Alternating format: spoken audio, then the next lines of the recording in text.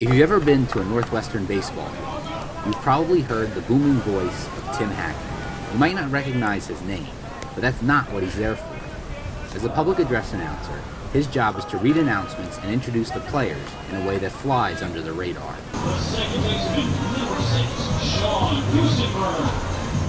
Seated in the press room furthest to the left at Rocky and Bernice Miller Park, all Tim needs to do is turn on his microphone, and his voice reverberates to everyone in attendance as you heard there.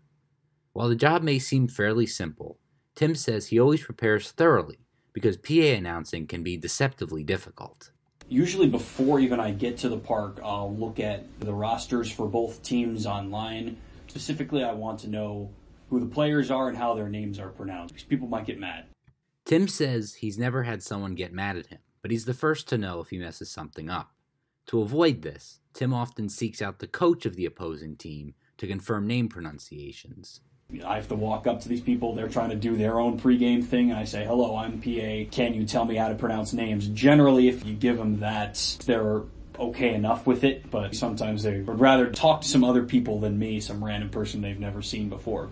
Assistant Director for Northwestern Baseball, Preston Michelson, helps Tim with his game day preparations. Having done PA himself before, he's aware of its tremendous importance. You're the voice of a venue, you're the voice of a stadium. So it's really coaching someone through what that's like.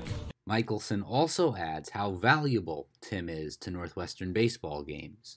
Tim's done a great job. The PA announcer is perhaps more integral than any other sport because of how regular they are. He's got a great combination of a great voice and a solid delivery that's really been an asset to the Wildcats.